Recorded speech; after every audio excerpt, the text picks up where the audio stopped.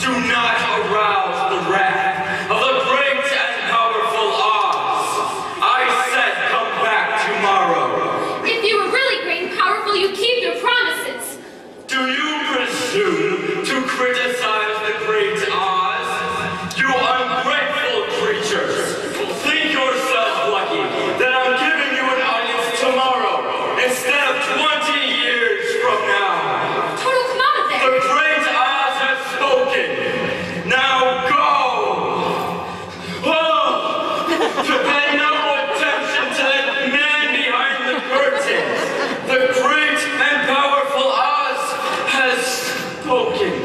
Oh.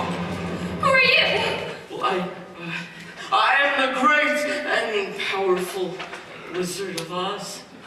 Who you are? I,